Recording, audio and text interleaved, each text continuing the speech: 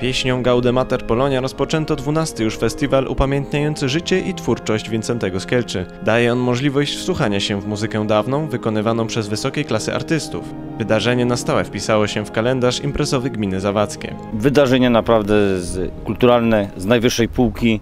Y, Frekwencja zresztą jak co roku dopisuje.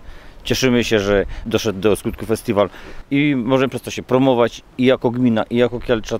Nie zdarzyło nam się zorganizować dwóch takich samych e, festiwali. Bardzo się cieszymy, że pomimo późnej for, pory, bo listopad to jest jednak późna pora dla festiwalu Gaudemater Polonia, Wincenty Skielczy in Memoriam, mimo wszystko cieszymy się, że doszedł do skutku, że możemy gościć również tutaj.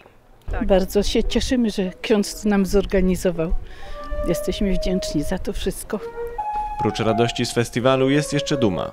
Duma, bo najprawdopodobniej właśnie z Kielczy pochodził autor wielu wiekopomnych dzieł i patron festiwalu. Wokół historii twórcy jego życia, Wincentego Skielcza, a zatem e, dla nas, dla Polaków, dla Opolan to niezwykle e, ważna postać.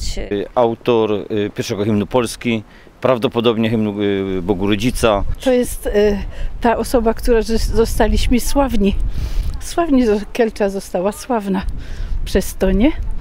No i bardzo się z tego jesteśmy jest jego, ulica jest jego, nie? W historii muzyki oczywiście od tego zaczynamy. Jest to, jest to dla nas e, budulec tak naprawdę kolejnych wieków w historii muzyki.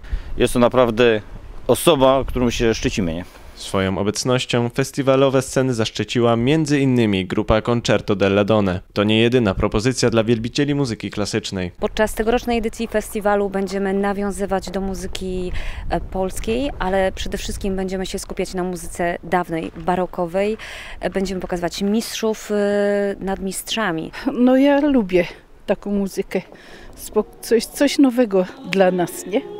Bo tak to nigdzie nie Jest za jeździmy. darmo, nie trzeba płacić, nie trzeba kupować biletów, trzeba korzystać. Biorąc pod uwagę duże zainteresowanie imprezą, mamy nadzieję, że za rok usłyszymy jeszcze więcej wspaniałej muzyki.